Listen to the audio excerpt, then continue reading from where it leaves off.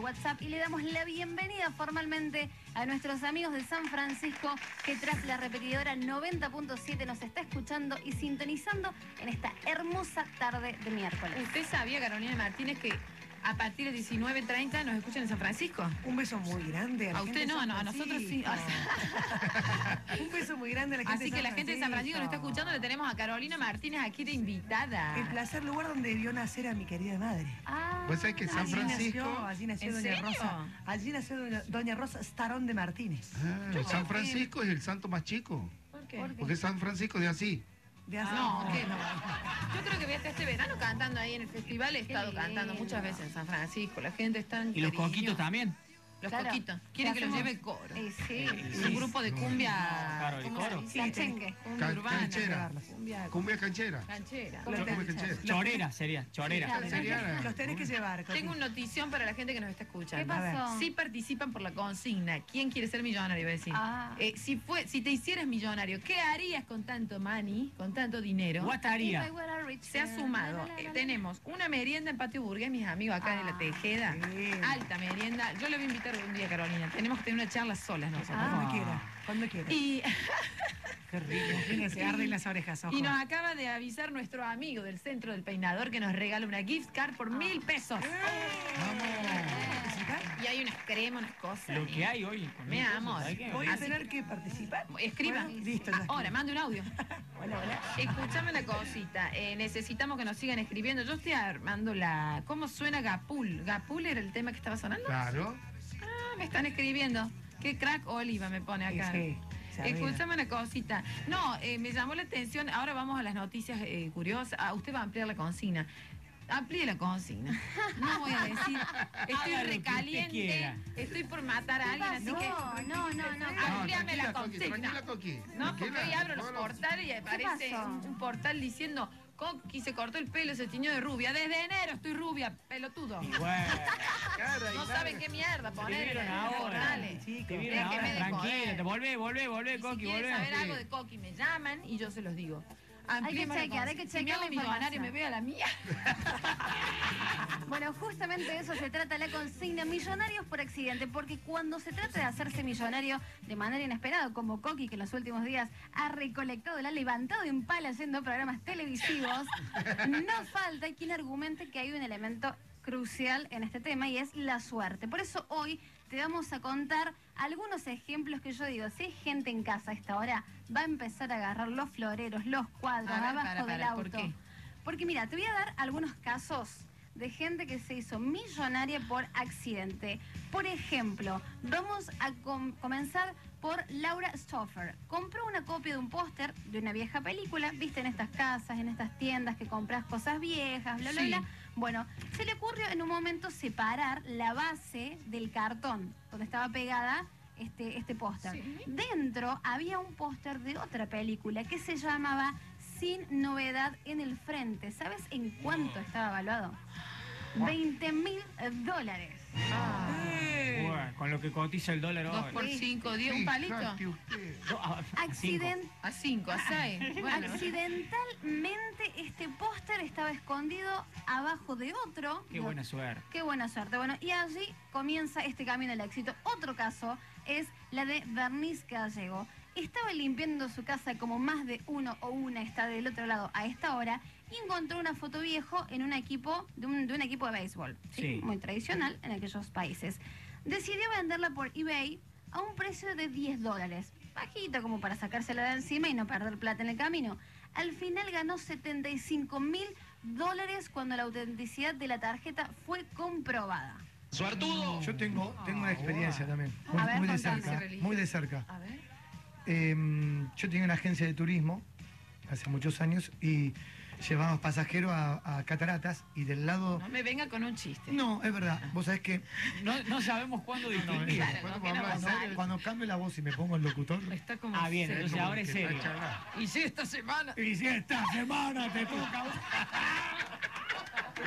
Va a tocar. la suerte. Vamos. Bueno, entonces hay tres excursiones, catarata al lado este, argentino, del lado brasilero, está para ir a Paraguay y a, y a ir a Paraguay, a Ciudad del Este, Sí. a comprar.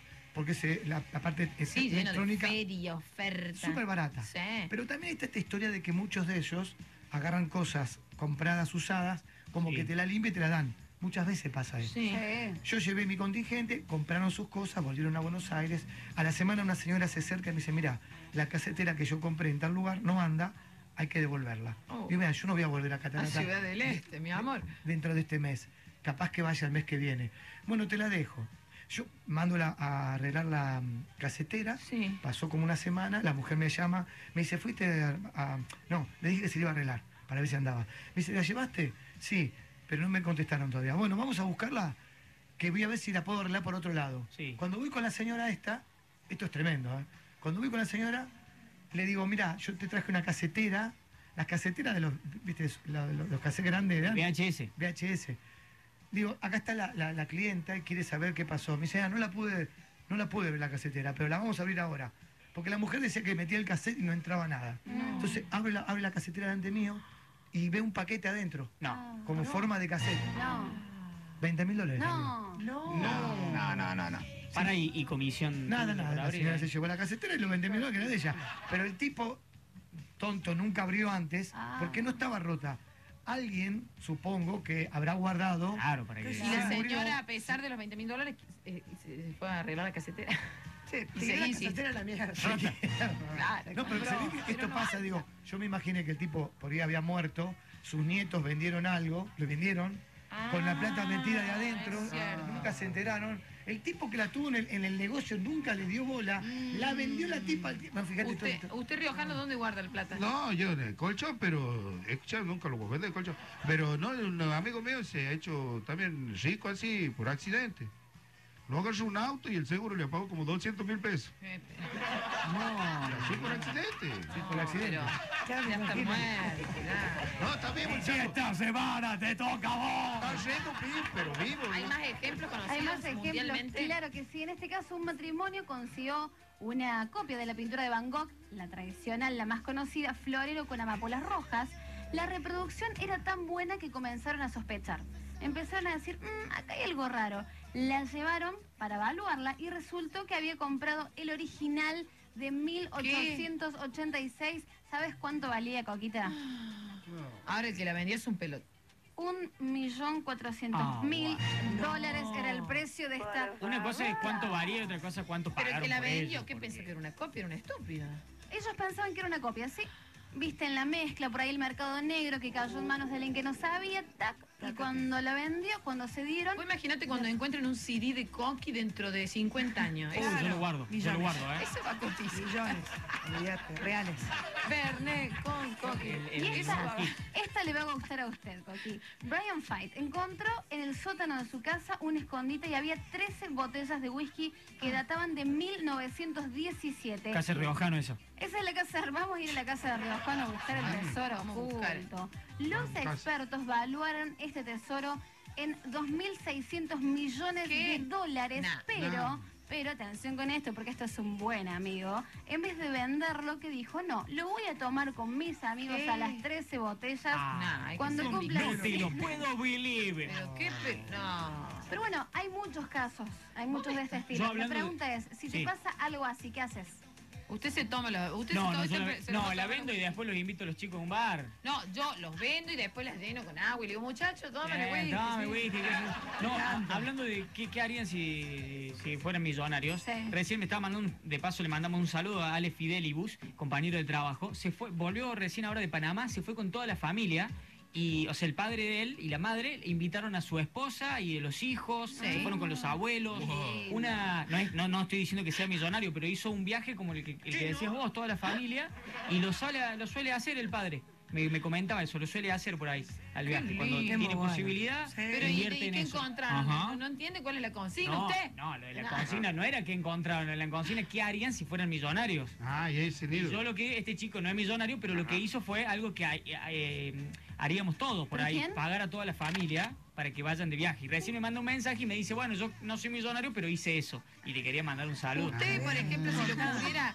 eh, Rebuscado. Usted, Carolina, usted que está casada hace 13 años, pero hablando en serio, eh, nombre de tu marido siempre me lo olvido. Carlos. Carlos.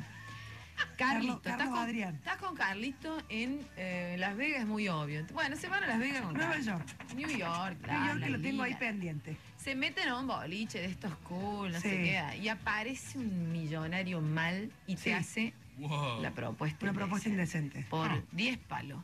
No, ¿Vos crees que Carlito te entrega? No sé si él me entregaría, yo no me iría.